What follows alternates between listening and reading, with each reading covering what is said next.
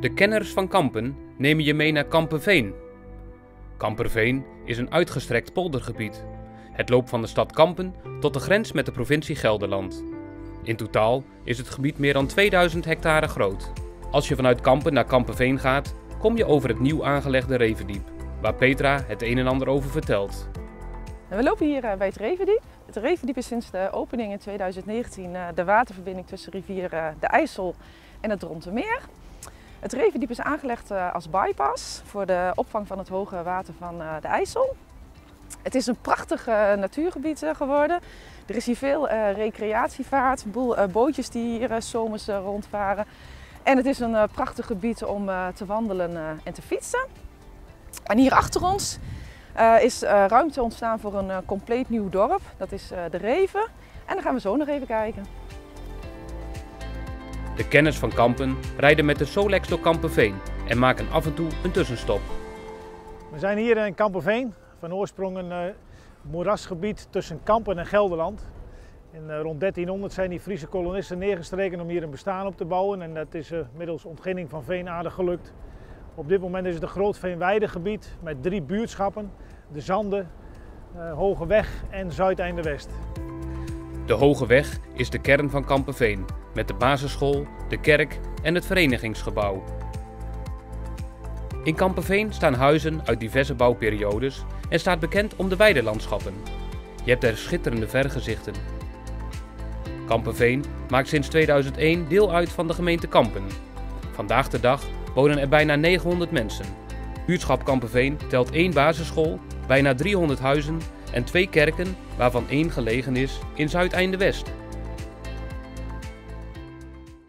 We staan hier eh, in Zuideinde-West, ondanks dat het bord eh, anders doet vermoeden. Het zuidelijkste buurtschap eh, van de gemeente Kampen. Het bijzondere aan, dit, aan deze buurtschap is dat het gelegen is in twee provincies. Provincie Gelderland en provincie Overijssel. En ik denk dat is een quizvraag. Is dit een van de enige gemeenten in Nederland die een bord heeft waar zowel uh, Zuideinde op gemeente Kampen en aan de andere kant staat Zuideinde gemeente Alderbroek. Dus dat waar het in twee gemeenten ook nog is gelegen. Um, Zuideinde West heeft een uh, eigen kerk, uh, school. Um, en ondanks dat is het nooit uitgegroeid tot een dorp. En is het altijd een, een van de kernen geweest die vanaf tot 1936 eh, bij Kamperveen hoorde en later overgegaan is naar de gemeente IJsselmuiden. Buurtschap Zuideinde is verdeeld over Zuideinde West, Zuideinde Oost en Wittesteinse Allee.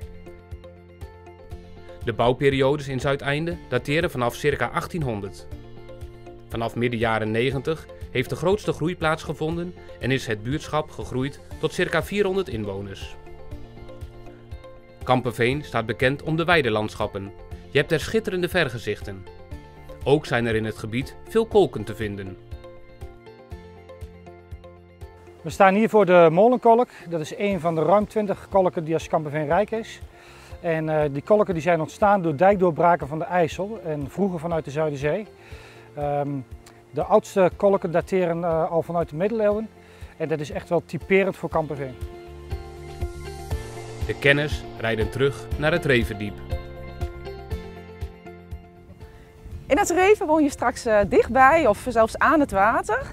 Met je eigen bootje vaar je straks zo uh, de randmeren op uh, richting het IJsselmeer. In het Reven zelf daar komt een lichtweide met een strandje. Een park wordt er aangelegd. Er is een binnendijkse en een buitendijkse haven. En in de dorpskern komt de sluis. Kenmerkend voor Kampenveen is het uitgestrekte veenweidegebied met een rustige leefomgeving en een grote saamhorigheid. Er valt nog zoveel meer te vertellen, maar wil je meer weten over het wonen en leven in Kampenveen? De kenners van Kampen vertellen je graag meer over het gebied.